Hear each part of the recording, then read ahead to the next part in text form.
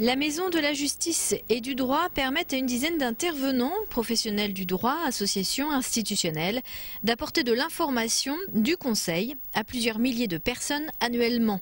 L'objectif est clair, cette structure doit favoriser l'accès de tout citoyen à la justice. L'autorité judiciaire est complexe dans son abord et donc c'est important pour euh, le citoyen qui ne sait pas quel est le juge compétent, est-ce que d'ailleurs le juge est compétent, quel est le cadre juridique de son problème. C'est important pour le citoyen d'avoir cette information sans avoir l'appréhension de franchir la porte d'un palais de justice.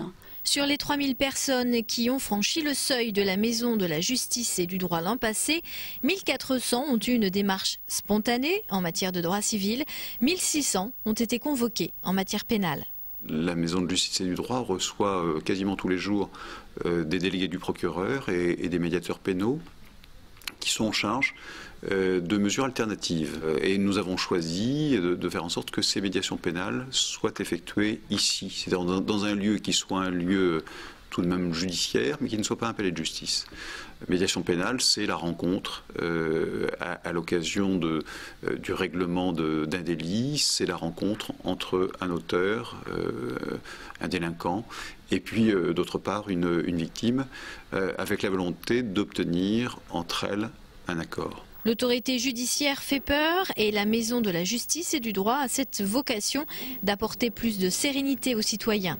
En outre, des permanences d'aide aux victimes sont mises en place dans cette structure, mais elles ne sont pas l'essentiel des dossiers traités aujourd'hui ici, contrairement au droit de la famille. Euh, les affaires familiales au tribunal de grande instance représentent déjà 2000 décisions si on évoque uniquement que les questions d'autorité parentale, de droit de visite et d'hébergement et de pension alimentaire, donc de divorce ou euh, de situation familiale hors divorce. Donc 2000 décisions pour le tribunal.